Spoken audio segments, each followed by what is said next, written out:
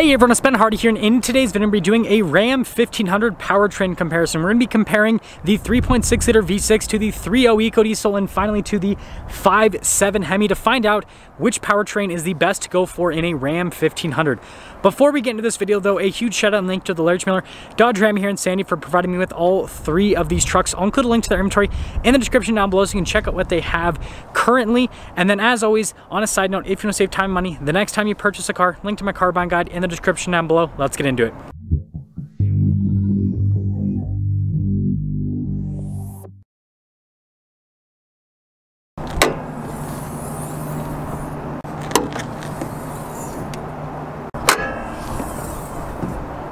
Well, let's start things off with the 5.7 Hemi. So naturally aspirated 5.7 liter Hemi V8 that goes through an 8-speed automatic transmission. Now it's paired to an e-torque system. That's the only way you can get the 5.7 Hemi for the 23 model year. With that, it allows this truck to get 17 around town and then 22 on the highway. Power outputs 395 horsepower, 410 pound-feet of torque, and then you get another 130 pound-feet off of the line because of that e-torque system. The next powertrain is the EcoDiesel. It's a 3-liter turbo diesel V6 that goes through an 8-speed automatic transmission. Fuel economy with this is 21 around town and then 29 on the highway. Power outputs 260 horsepower, 480 pound-feet of torque. And then finally, we have the 3.6 liter V6. This also goes through an 8-speed automatic transmission. With this, fuel economy is 16 around town and then 23 on the highway with power outputs being 305 horsepower and then 273 pound-feet of torque. So what have we learned here today, folks? Well, we have learned that the EcoDiesel has the most torque and it actually gets the best fuel economy, but it is diesel and diesel prices right now are more expensive than gas prices. And so you might not necessarily save money at the pump because although you get better fuel economy, you'll be paying more. Anyways, the other thing we learned is that although this has way more power and is a much bigger engine compared to the 3.6 liter V6 over there, it pretty much gets the same fuel economy numbers. And so what this looks like before we even drive them is the 5.7 Hemi for the gas engine is an obvious winner. And then the EcoDiesel, well, it, it could be a winner, but we're gonna have to drive them to find out. Before we do that, let's get into some more specs.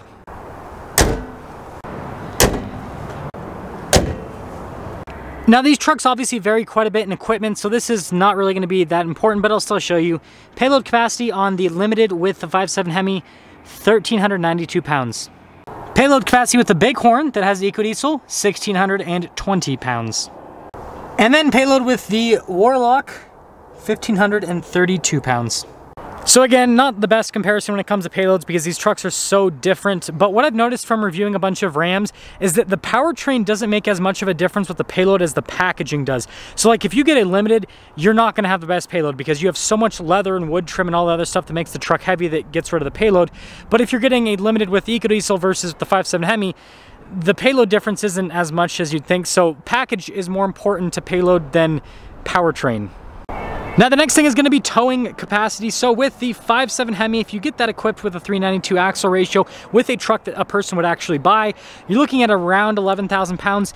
EcoDiesel, you're looking at right around 10,000 pounds. And then with the V6, you're looking at about six, almost 7,000 pounds for the towing capacity.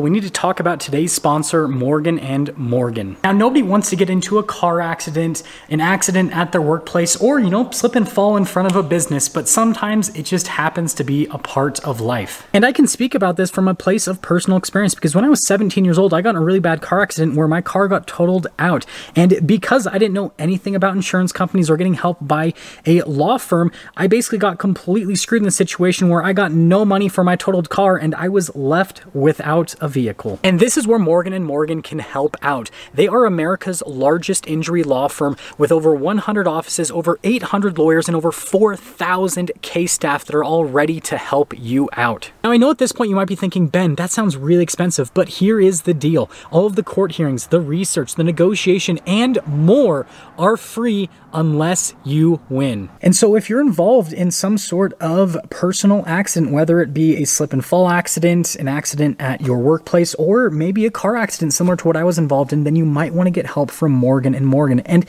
don't feel bad that you're going down the route of suing. I know a lot of people might feel guilty about this, but what you have to understand is you're not suing the person or the business. You're suing their insurance company that has billions upon billions of dollars. And so it's more about making sure that you get the compensation that you deserve. So again, if you're injured in an accident, then you can check out Morgan & Morgan at www.forthepeople.com slash Ben Hardy, or you can give them a call at pound 529, which is pound law. I think that's so cool that they got that number reserved. But again, www.forthepeople.com slash Ben Hardy. Let's get back into the review. Before we drive the trucks, let's talk about the powertrain cost differences. So with the V6, it's typically a no cost option. With the EcoDiesel, it looks like it's 5,500 bucks at least on that Bighorn.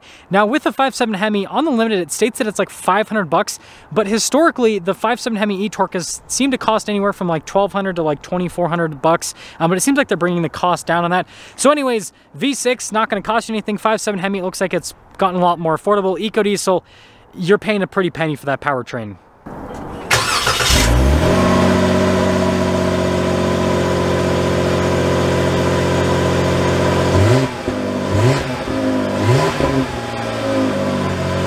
Let's start off here in the V6. And I know some people might have the complaint that I'm comparing a classic to a Bighorn to a limited, but you know, we're comparing powertrains and it's it's not going to be a, you know obviously the packaging is going to affect like the ride quality of the truck and everything but it's not going to affect how the powertrain perform performs ultimately. First thing with the v6 at low speeds it's not bad. I do feel like i have to get into it a little bit though. I mean that was almost 3000 rpms and i'm just light acceleration right and i feel like that's probably the big downside of the v6 is just the power that this engine has in such a big pickup truck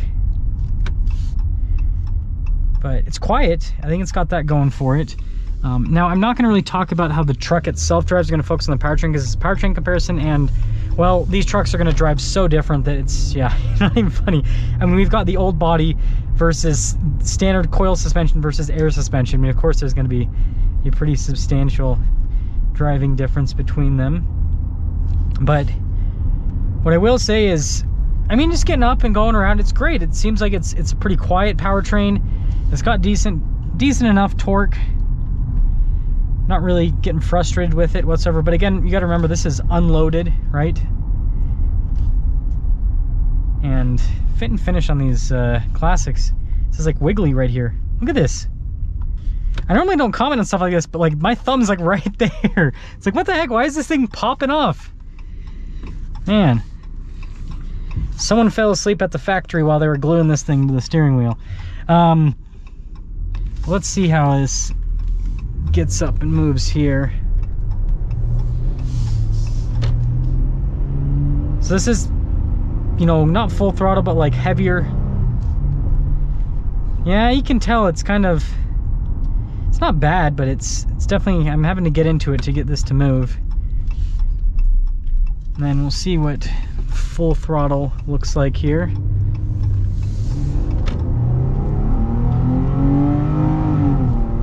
Yeah, I mean, that was ringing it out. That's for sure. That was definitely ringing it out. Um, yeah, it'll be interesting to see how this compares to the other two, but, you know, not, not horrible. It doesn't feel fast, though. Like, it feels like I can get up to speed, but uh, not getting up to speed in any amount of uh, hurry whatsoever.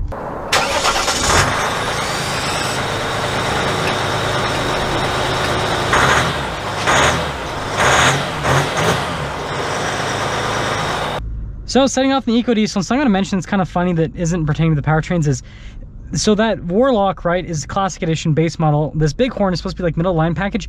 The Warlock has a power adjustable driver seat. This has a manual driver seat. Ram with their current packaging is very strange.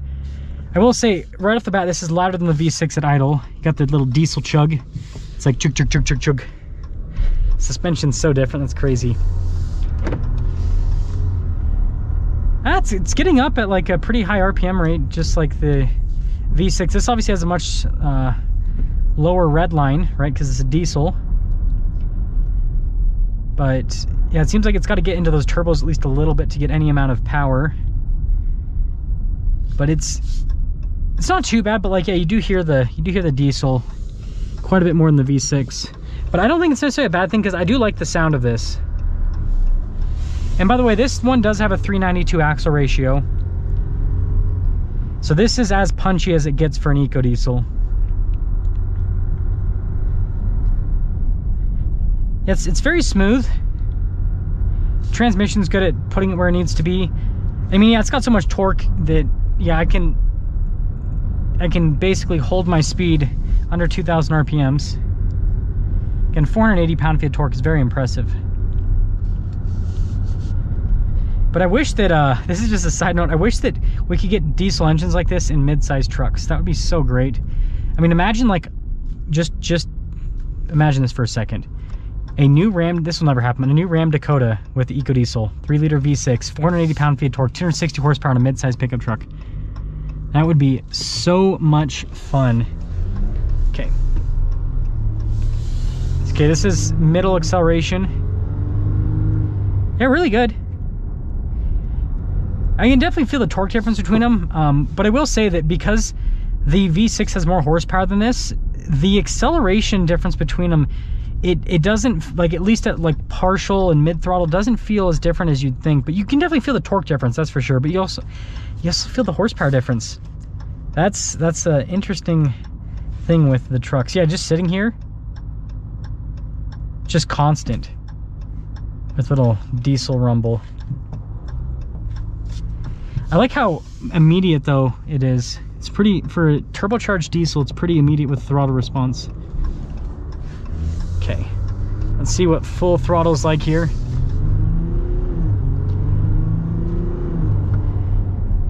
Wow, that's not as, like, like there's definitely a difference. Like this definitely feels way smoother than the V6. It's not as like loud and screamy as the V6, right? But it doesn't feel like way quicker like I thought it would. I thought that this would feel like just a like a rocket ship compared to the V6 and it doesn't. Um, but you know what I will say is if you put a trailer behind this and then trailer behind the V6, the V6 is, you know, going to be screaming at like you know, 5,000 RPMs probably, whereas this is probably going to be chilling at, you know, 2,000, 3,000, I mean, depends on what you're towing up, right? But it's going to be at much lower RPM. So that's where this is going to win over the EcoDiesel, or not the EcoDiesel, this is the EcoDiesel. This is where this is gonna win over the V6, is in a towing situation like that.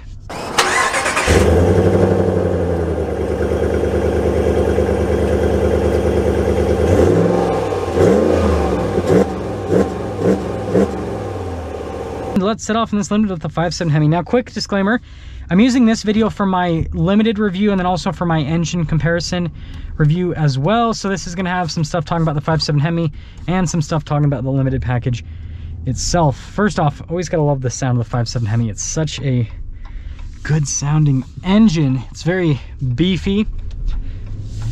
And right off the bat, torque is great. Uh, and I just drove, um, I just drove an EcoDiesel and a V6 right before this, and it's crazy to feel the difference with them. Like you can feel that this has less torque than the EcoDiesel. It feels better than the V6, of course, but it's it's interesting at the low speeds. It's it's very responsive, but it's not as like punchy as the EcoDiesel is at low speeds. Yeah, it feels like there's a little bit more lag before I get anything. That's that's interesting that again that difference is actually perceivable. Um, now, with the limited package, we've got the air suspension, and that makes this truck ride really smooth. So I just drove a Classic before this and a Bighorn before this, and the difference is huge. Like, the fifth gen drives way better than the fourth gen in terms of ride quality. But then fourth, or sorry, fifth gen with air suspension versus non-air suspension, there's a difference. This feels like a full-on luxury car. The Bighorn felt comfortable, but this, yeah, this is just on a whole nother level. Like, the damping is amazing.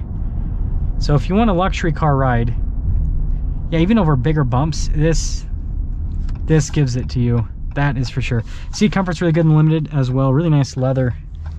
Just a, it's it's a nice, it's a luxury vehicle. That's and that's why this truck's been so popular is because, right, you get a luxury experience and a pickup truck. So this is mid throttle. Definitely feel the horsepower with this one. Definitely feel the horsepower, that is for sure. Hopefully that light holds. Let's cross our fingers. There we go. We are in luck today. Okay, let's get our full-blown acceleration here. Wow. Yeah, way punching the other two powertrains, that's for sure. Yeah, driving them back to back, that is interesting to see. But quickly summing things up here with this limited package and with the 5.7 Hemi e-torque. Um, it's got it's got really good power, just like yeah, right off the bat. And yeah, I just I like how this drives. It's smooth, it's comfortable. And again, this really is a luxury car. Like you have to the way to look at this pickup truck is you're basically combining like a Mercedes S-Class with a pickup truck. It's the S-Class of pickup trucks, whatever you want to call it. It just, yeah, and the interior is really nice too. But yeah, you can still technically get the EcoDiesel in this. Um, I think it's just going to depend on what you're going to use it for. I like both powertrains for different reasons. I will say the one thing that I really like about this particular uh, powertrain here in the Limited is just the, like, just the punchiness, especially when you fully accelerate. Like EcoDiesel doesn't have a lot of horsepower, so it kind of pulls back a little bit. This though, it just keeps going. Now that I've driven all of the powertrains back to back, let's choose a winner and we'll start from last and I guess go to first. So in last place is the 3.6 liter V6. Fuel economy is identical to the 5.7 Hemi and it has substantially less power and yeah, like I just, I don't get the point of 3.6 liter V6 at this point other than cost. I can imagine that if that is in a truck that is far less expensive than a truck with a 5.7 Hemi, then it makes sense. But like, yeah, it's just a it's a weak powertrain for a pickup truck, and so if it got like much better fuel economy, I would understand, but it, it just really doesn't. Now, EcoDiesel versus 5.7 Hemi, it's honestly a very difficult decision to choose a winner between both those powertrains because I like them both for different reasons. But what I will say, with the current price of diesel, with the fact that the EcoDiesel costs literally 5,500 freaking dollars. It gives the 5.7 Hemi a slight edge because the 5.7 Hemi is not only way more affordable, but it's not like you're going to be saving money by going to the EcoDiesel because the 5.7 Hemi gets pretty good uh, fuel economy for what it is, and it costs a lot less, and also the fuel that you put in that costs a lot less. Hopefully that makes sense. And so I'm going to say EcoDiesel is second place, and then 5.7 Hemi is number one. Let me know which powertrain you like the most and which one you would choose.